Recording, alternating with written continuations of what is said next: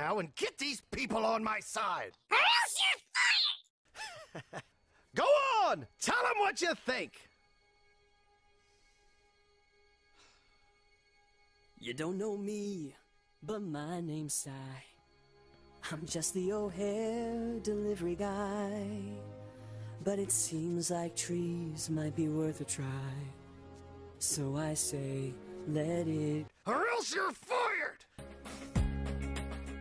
My name is Dan. And my name's Rose. Our son Wesley kinda glows. And that's not good, so we suppose we should let it. Or else you're fired! Let it, Or else you're fired! let it. Or else you're fired! You can't reap what you don't sow. Plant a seed inside the earth. Just one way to know its worth. Let's celebrate the world's rebirth. We say let it Or else you're fired! My name's Marie, to see a tree.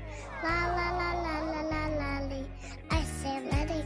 Or else you're fired! I'm Grammy Norma, I'm old and I've got gray hair. But I remember when trees were everywhere and no one had to pay for air. So I say, let it Or else you're fired! Or else you're fired! Or else you're fired! like it did so long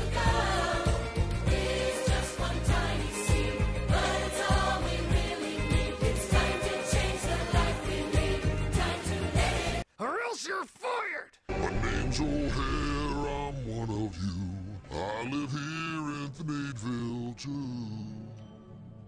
The things you say just might be true. It could be time to start anew and maybe change my point of view. Nah, I say let it die. Let it die, let it die. Let it shrivel up and come on, who's with me, huh? Nobody. Or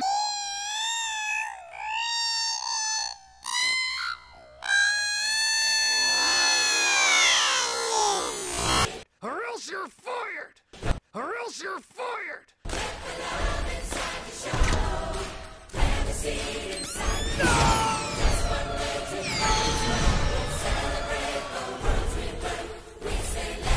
Or else you're fired!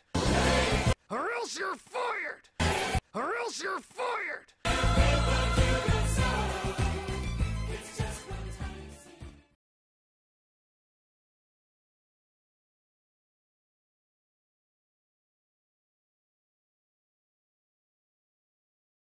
Fired!